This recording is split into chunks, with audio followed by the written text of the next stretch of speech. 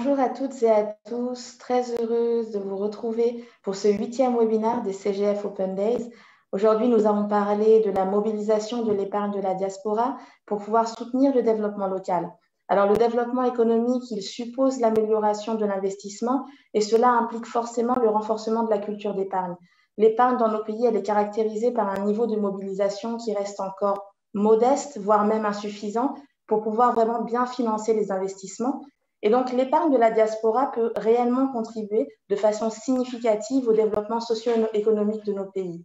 Cette contribution, elle se fait à travers un rôle protecteur auprès des, populations, mais elle peut aussi être renforcée par un rôle d'investisseur dans l'économie. Et c'est ce dont vont nous parler aujourd'hui euh, euh Madame Oumou Kalsomdium, qui est directeur du développement commercial à CGF Bourse, et Ndei Khadidja, qui est directeur général adjoint à CGF Bourse. Bonjour mesdames, heureuse de vous retrouver.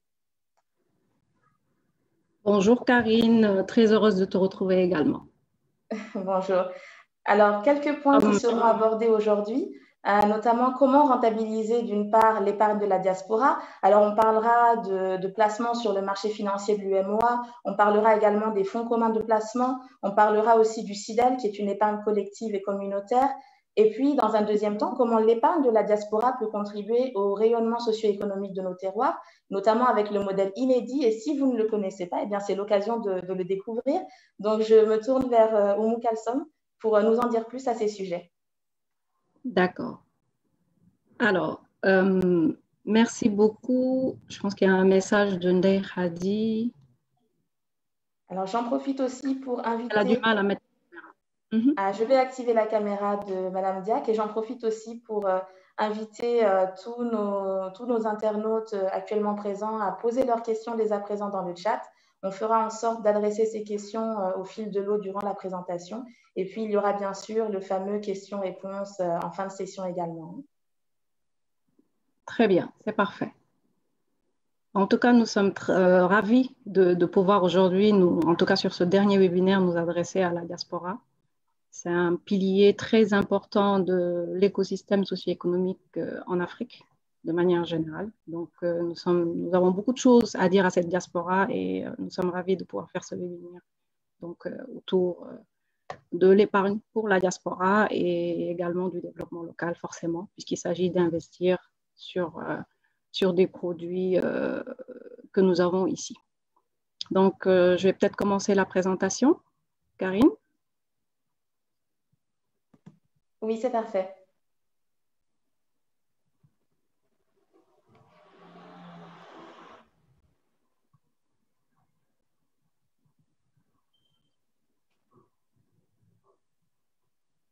Est-ce que c'est bon pour tout le monde?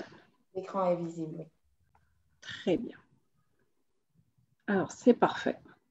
Donc, je disais tout de suite que la diaspora était un pilier très important pour, dans nos sociétés africaines est-ce que vous saviez, Karine, que l'Afrique subsaharienne enregistre le plus de transferts de fonds de la part de sa diaspora? C'est énorme. C'est énorme, c'est énorme. C'est plus de 65 milliards de dollars euh, en montant, donc que l'Afrique subsaharienne reçoit et que les diasporas euh, africaines donc envoient à leur pays d'origine. Donc, il faut aussi savoir que ces envois de fonds des travailleurs migrants sont la principale source de financement extérieur des pays à faible revenu, donc euh, excepté la Chine, évidemment. Donc, en Afrique, ces fonds sont supérieurs à l'aide publique au développement, mais également aux investissements directs étrangers. Ces transferts, de fonds sont également euh, une part très substantielle du, PIB donc de ces pays. Donc, on, peut donner quelques exemples. Hein. Au Comores, ça représente 19,1%. En Gambie, 15,3%, les autos 14,7%, euh, pour le Cap Vert c'est 12,3%, pour le Libéria c'est 12%, pour le Sénégal dans lequel nous sommes c'est également plus de 10%. Donc ces fonds financent principalement la consommation pour plus de la moitié, donc près de 60%, l'investissement immobilier également, donc euh, à peu près 16%, pour d'autres types d'investissements 5,5% pour la santé également, pour l'éducation et euh, d'autres types d'investissements à hauteur de 8,7%. Donc, ce qu'il faut savoir, c'est que euh, cette diaspora, donc, elle envoie beaucoup de fonds en Afrique, mais on remarque qu'elle n'épargne pas beaucoup en Afrique. Alors aujourd'hui, pourquoi on fait ce webinaire? C'est pour dire justement à la diaspora que vous devez également euh, faire de l'épargne sur le continent parce qu'on a euh, beaucoup de bonnes choses à vous proposer justement en termes de, produits financiers notamment. Alors, déjà, euh, épargner, pourquoi il faut épargner? Je pense que c'est des choses qu'on a vues sur, tout au long de la semaine hein, sur des webinaires différents et qu'on va quand même tenter de rappeler sur celui-ci. Donc, on épargne parce qu'il y a des objectifs derrière. Ça peut être tout simplement pour la retraite, ça peut être parce qu'on a un projet, ça peut être parce qu'il faut euh, constituer un capital donc euh, pour un projet qu'on pourrait avoir à moyen, long terme, voire même à court terme. Ça pourrait également être juste pour euh, pallier à des moments difficiles, comme ce qu'on a en ce moment avec la pandémie de coronavirus. Donc, beaucoup de monde est impacté et partout dans le monde. Et on sait que l'épargne a, beaucoup aidé ceux qui avaient pu engranger suffisamment de fonds pouvoir tenir donc, ces mauvais jours-là. Alors, pourquoi épargner sur notre marché financier? Je le disais tout de suite, il y a beaucoup d'opportunités sur notre marché financier. On va le voir, mais d'abord, on va jeter un coup d'œil à ce que euh, va avoir comme rémunération à l'étranger. On est au Sénégal, on sait qu'une bonne partie de notre diaspora est en France. Donc, on va prendre un cas assez pratique dans lequel on pense que beaucoup vont se retrouver, donc c'est la France. Donc aujourd'hui, voilà en termes de rémunération ce qu'on peut espérer donc en, France en termes de dépôt, donc rémunéré. On est moyennement pour les ménages à moins de 1%. Et c'est une tendance qui, est en train de baisser, comme vous pouvez le voir sur le slide qui, qui, est affiché en ce moment. Donc, on est passé, par exemple, sur octobre 2019, de 0,83% en rémunération à 0,63% en octobre 2020. Sur euh, les sociétés non financières, c'est encore euh, plus difficile. On est à 0,23% sur octobre 2019. On est seulement à 0,17% de rémunération à 0, euh, en octobre 2020. Donc, moins de 1% qui sont proposés en rémunération à ces investisseurs-là. Donc, que ce soit des ménages, que ce soit des, sociétés non financières, notamment. Et comme je l'ai dit tout de suite, c'est une tendance qui est baissière, comme on peut le voir sur les différents graphes. Donc, pour les dépôts des ménages, on est entre 1 et 0,25, euh, on va dire, pour prendre vraiment les, écarts. Et sur les comptes à terme, on est entre 1,50 et 0,25. Donc, nous, on a des alternatives à proposer à la diaspora. Quelles sont nos alternatives? C'est ce qu'on va vous proposer tout de suite. C'est d'aller sur nos FCP qui sont prudents et sécurisés et qui peuvent justement être euh, servir en tout cas de, palliatif à ce qu'ils peuvent avoir euh, au niveau des, au niveau des, banques euh, ou des sociétés d'investissement ou financières en Europe. Alors, on a différents fonds. Vous avez eu l'occasion de, les voir peut-être sur les webinaires précédents. On a des fonds qui répondent donc à, un besoin d'épargne pour la retraite, puisqu'il faut rester quand même focus sur un objectif quand on épargne. Il faut savoir quelle est la durée, quel est l'objectif. L'objectif permet de définir la durée de l'épargne et euh, également de, de, de, savoir quel profil il faut affecter en fait à cette épargne-là. Est-ce qu'on peut aller sur du dynamique? Parce qu'aller sur du dynamique, c'est du long terme. Est-ce qu'on, quand c'est du moyen terme, il faut aller sur quelque chose d'un peu plus prudent? Sur du court terme, évidemment, on ne prend aucun risque pour ne pas avoir justement de, à, avoir son, son capital se, se détériorer d'une quelconque manière. Donc, l'objectif, il est très important. Donc, on a, comme je l'ai dit tout de suite, beaucoup de FCP à proposer qui sont en fait une réplication de notre marché en miniature on a un marché financier où on a une panoplie de produits financiers qui sont proposés. Et le groupe CGF, à travers donc CGF Bourse et CGF Gestion, a trouvé le moyen en créant plus d'une vingtaine de FCP qui, qui, sont en fait une miniature de ce que le marché pourrait proposer. Sauf que sur ces FCP-là, nos internautes, la diaspora ou euh, nos épargnants donc, euh, de la sous-région ont la possibilité de se faire accompagner dans la gestion, puisqu'un fonds commun de placement, en fait, est géré par un gestionnaire de fonds qui est habilité à le faire, qui est agréé pour ça. Donc, ils n'ont pas forcément à se casser la tête. Euh, est-ce que je dois acheter ou vendre? Non, ce n'est pas la question. Il y a quelqu'un qui s'occupe de ça. Donc, on a des FCP pour la retraite, on a des FCP qui répondent aussi à un besoin euh, de, finances islamiques, en tout cas. Donc, souvent, on rencontre, que ce soit en local ou même dans la diaspora, donc des gens qui ne veulent pas avoir des taux d'intérêt, par exemple. Il leur faut quelque chose de halal. Nous avons également un FCP qui répond à ça, c'est Al-Baraka. Donc, euh, le FCP halal, il y a cette dimension halal, on est rassuré par rapport à ça. Il y a également un profit qui est là malgré tout. Parce qu'en général, quand on prend d'autres types de produits, on, renonce au profit juste pour ne pas avoir quelque chose euh, qui n'est pas halal, qui ne répond pas donc à cette norme charia. Là, vous avez les deux. Vous avez un profit qui est halal et un produit qui est halal. Donc, on a également liquidité optimum, qui est un fonds un peu plus diversifié, donc euh, actions, obligations ou valeurs de taux. Il faut savoir qu'un fonds commun de placement, c'est un panier, donc un panier, un mix où vous avez plusieurs types de produits financiers. Donc, euh, voilà, nous, l'alternative qu'on propose donc euh, à, nos, à nos gens de la diaspora pour ce qui est de leur épargne. Alors, ici, on a une hypothèse. Certainement que vous reconnaissez le tableau parce qu'on a eu à le voir sur un, précédent webinaire. Donc, on parlait de, faire une simulation pour permettre à chacun de voir qu'en faisant une, épargne régulière, en tout cas, et sans forcément se blesser, parce que quand on fait de l'épargne aussi, il ne s'agit pas de s'arracher le bras. Il faut pouvoir y aller sur des montants qui sont raisonnables. Mais parce que c'est fait régulièrement, forcément, au bout du chemin, il y a quelque chose de vraiment euh, concret. Donc ici, sur les deux tableaux que vous voyez, donc on a fait une simulation en français CFA, mais également en euros, hein, pour permettre justement aux gens de la diaspora de voir en termes de montant. Donc à partir de 50 000, ce qu'on peut avoir comme cotisation, donc euh, on le voit là, donc 50 000, c'est le minimum sur lequel nous avons euh, fait la simulation donc mensuellement. Sur une épargne de 50 000, on peut avoir 600 000 francs de cotisation par an. Et vous voyez, tout au long de la vie quels sont les montants que vous pouvez obtenir. Donc, si vous, êtes, si vous avez 50, 55 ans et que, par exemple, l'âge de votre retraite est à 60 ans, c'est 5 ans que vous allez rester sur ce FCP-là.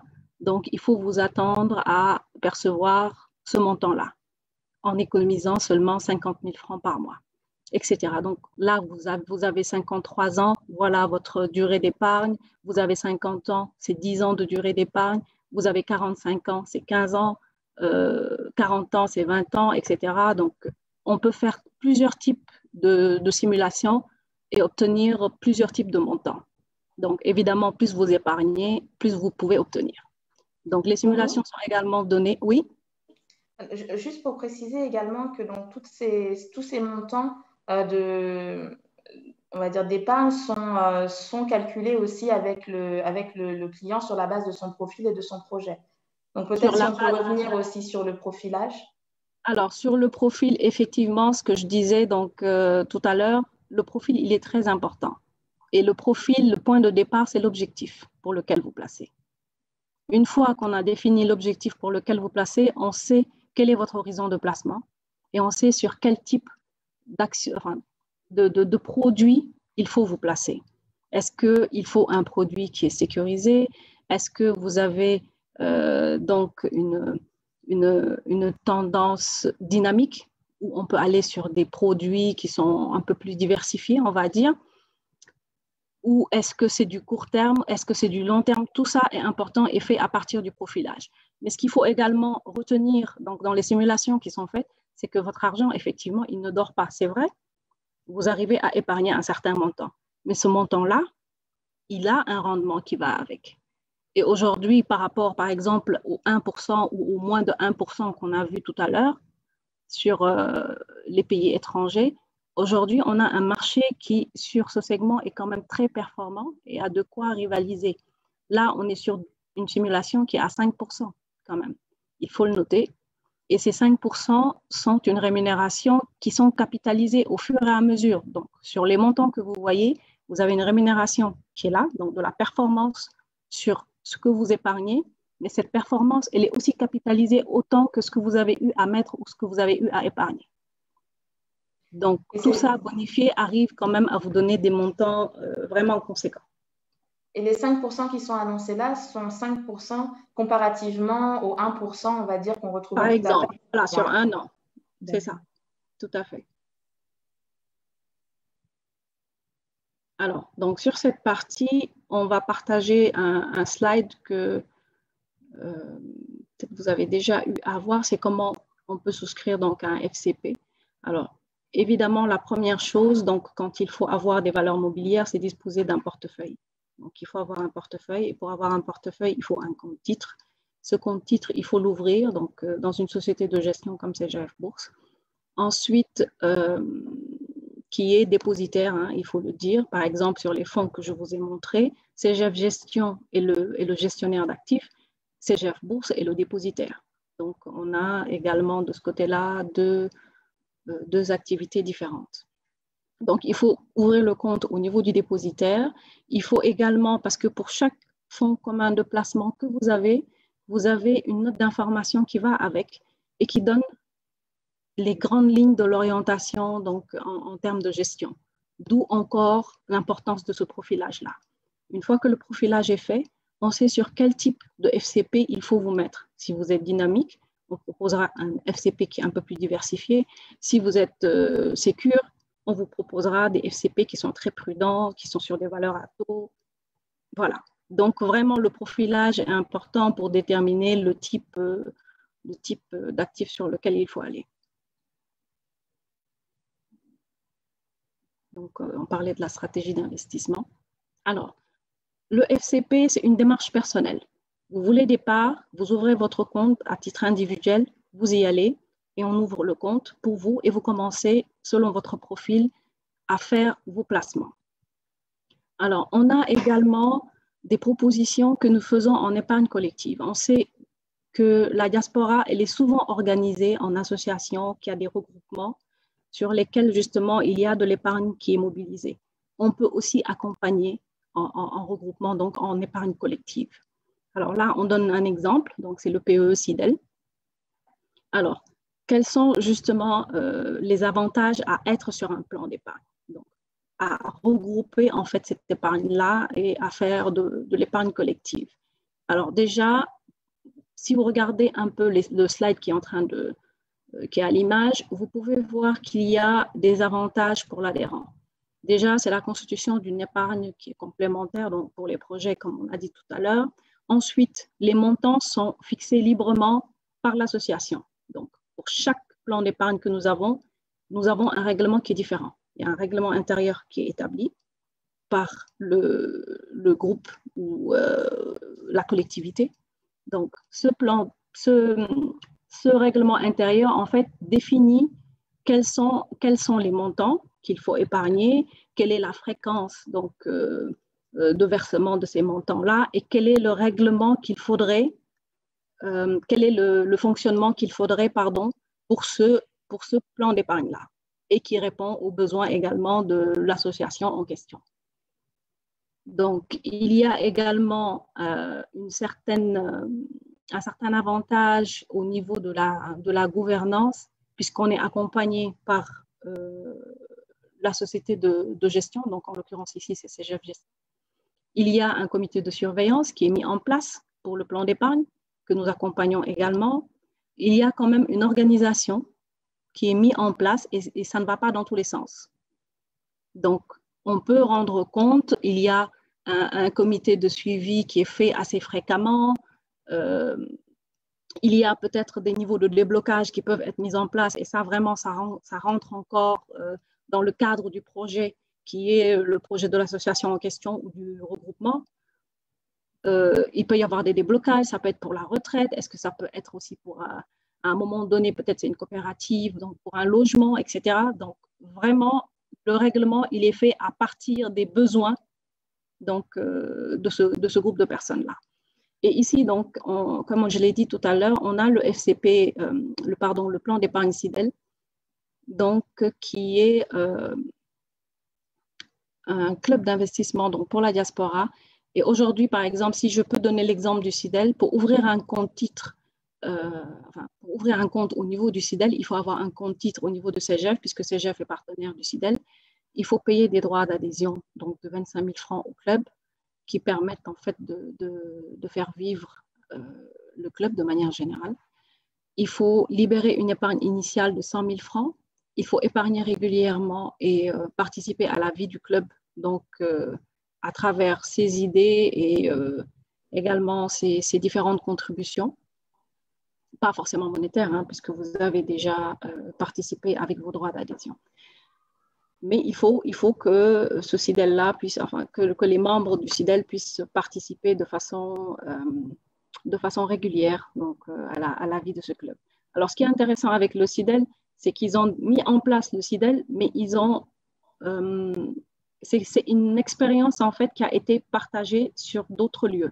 Donc aujourd'hui, par exemple, on a fait pas mal de, euh, pas mal de, tournées au niveau local. On avait même l'ambition de, de, faire un roadshow au niveau international justement pour présenter le CIDEL et pour essayer d'établir en fait plusieurs CIDEL au niveau de différentes localités.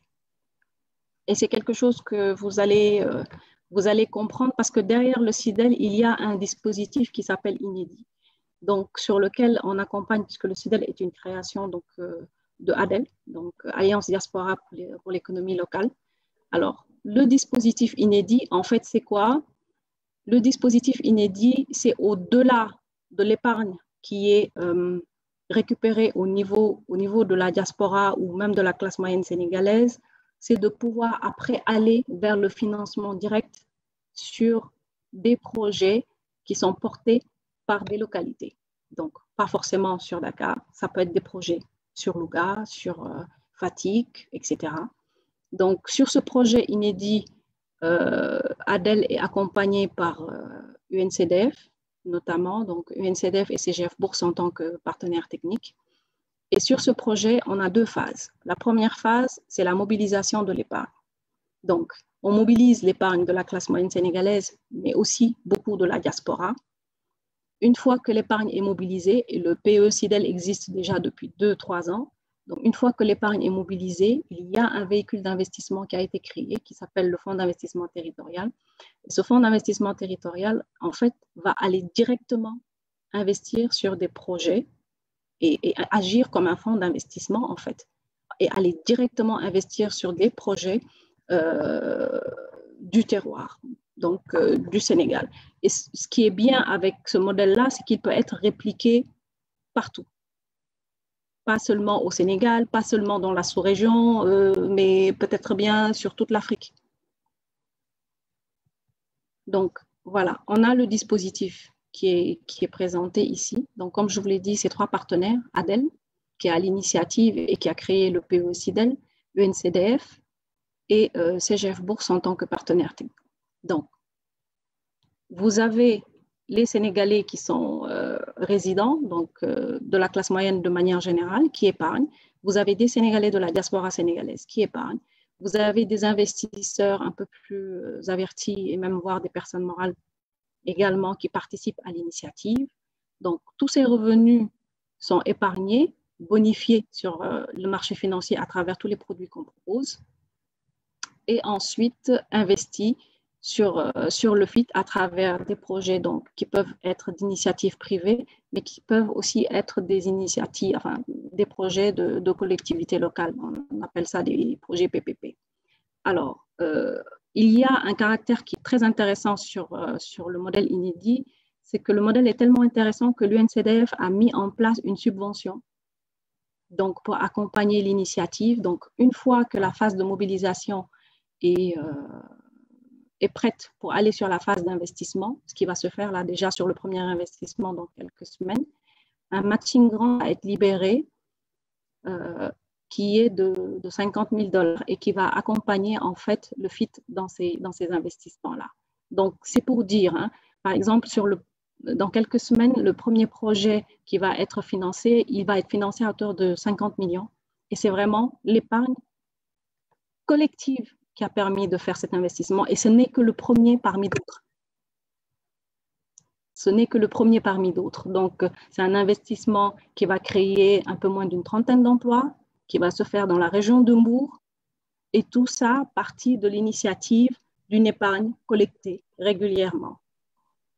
Pas forcément euh, significative ou euh, voilà, très, très importante, mais parce que collectée régulièrement, ça a permis d'arriver aujourd'hui à ce type de résultat-là.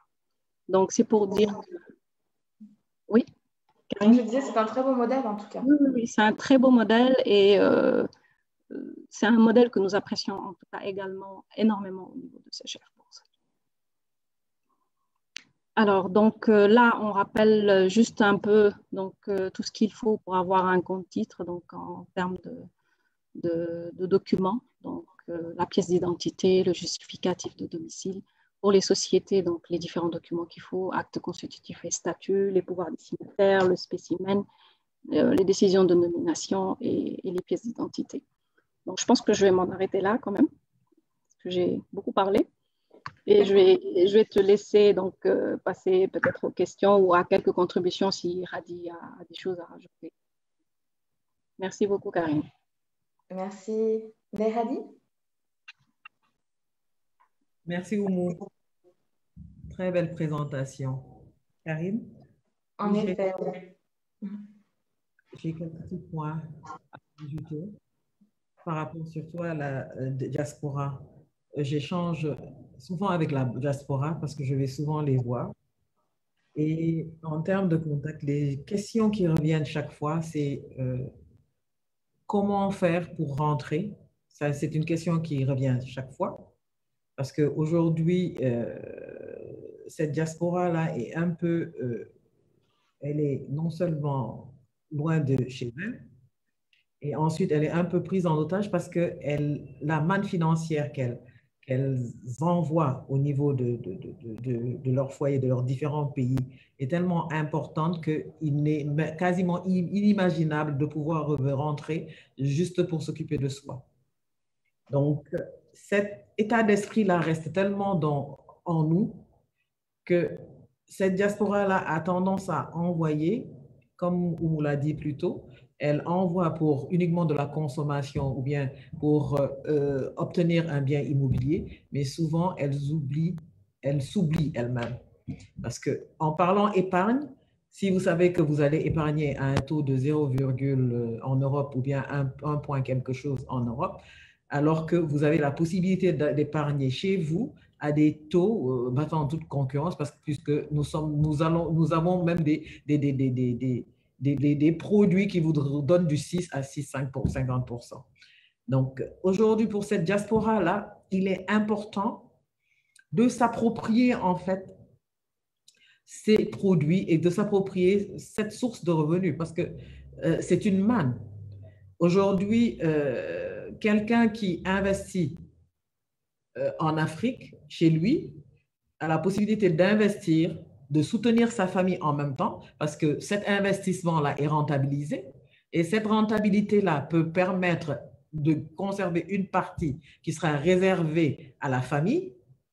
Et cette autre partie investie pourra servir à développer autre chose. Et c'est cette partie-là ou ce capital-là qui fait en sorte, on fait en sorte que au retour, à leur retour, à leur retour au pays, qu'ils puissent dire j'ai au moins des biens, des biens financiers au niveau, euh, au niveau de mon pays, qui puissent me permettre de faire autre chose en rentrant et de, puissent me, me, me permettre de survivre. Parce que tout simplement, il est bien beau euh, d'envoyer, d'envoyer, d'envoyer, mais à un moment donné, il faut envoyer et penser à rentabiliser cet envoi-là. Et cet envoi-là rentabilisé, c'est non seulement rentabilisé euh, pour nous, nous qui sommes à l'extérieur, donc euh, c'est bon d'avoir un rendement en plus, mais aussi c'est bon pour le développement économique de nos sociétés. Quand je me lève et que euh, j'achète une obligation, je participe à quelque chose. Quand nous sommes en groupe, parce que aujourd'hui, euh, on ne peut, l'épargne collective devient incontournable pour le développement de nos, de nos économies. C'est un point crucial.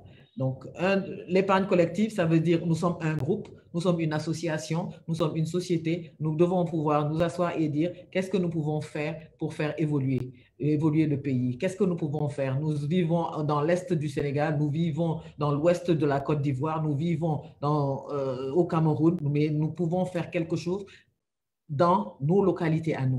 Parce que tout simplement, il y a la possibilité de le faire parce qu'il y a des produits. Autant il y a des produits de l'autre côté, pour, permettant de nous développer, autant chez nous aussi, on a la possibilité de, de, développer nos économies tout en, tout en, tout en, tout en épargnant.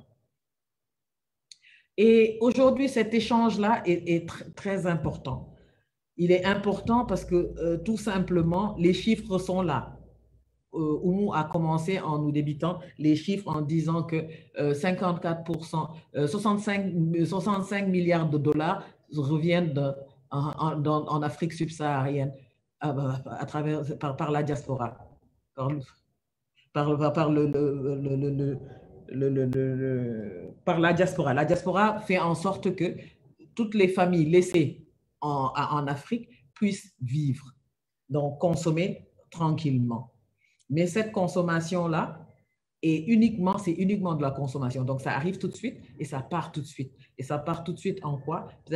Parfois même c'est pourquoi? Pour, pour des mariages, pour des baptêmes, pour des. C'est pas quelque chose de pérenne en fait. Et aujourd'hui, on doit pouvoir dire, on envoie pour quelque chose de pérenne. On a créé une société, on a créé, euh, on a créé une structure agricole, on est dans l'agriculture, on est dans, dans différents secteurs de nos économies. Aujourd'hui, par exemple, on est dans le gaz, dans le pétrole. On aurait pu dire, bon, la diaspora est dans un, dans, un système de, de, de, cotisation collective qui lui permettent d'adhérer ou bien d'entrer dans le capital de certaines de ces structures-là euh, présentes, présentes sur, sur, nos, sur nos territoires. Parce que quand il y a, quand il y a euh, un nouveau minerai qui, qui, apparaît, quand il y a, c'est une manne financière qui, qui arrive. Et cette manne financière-là doit pouvoir être retenue et soutenue par nos locaux. Donc, nos locaux comptant sur la diaspora pour consommer, aujourd'hui, on doit pouvoir dire à cette diaspora-là, si vous voulez que cette manne, par exemple, pétrolière ou gazière ou euh, agricole, etc., reste parmi nous, il faut pouvoir s'organiser. Et cette organisation-là permet à certains de, de, pouvoir épargner et de pouvoir euh, entrer dans, dans, dans, dans, ce développement de nos économies.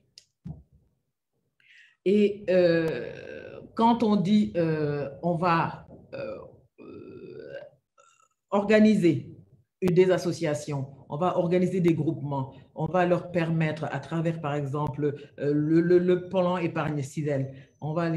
Aujourd'hui, CGF a la possibilité de, donner à, de permettre à chacun d'avoir son propre compte, son mot de passe, son, se faire toutes ces transactions à travers une plateforme leur permettant en fait de surveiller en même temps leur épargne. Donc, c'est une surveillance. On fait certes partie d'un groupe. Faire partie de ce groupe-là euh, et en termes de communication, veut dire euh, le groupe SIDEL pèse, le groupe euh, Intel ou bien l'association, le plan épargne Intel pèse 1 milliard, pèse 10 milliards. Moi, peut-être dans ce 10 milliards-là, je représente 1 million, mais seulement, je pourrais dire que c'est mon groupe. Donc, tout le monde a participé à hauteur de quelque chose. Et cette hauteur de quelque chose-là peut amener à développer nos localités, développer notre pays.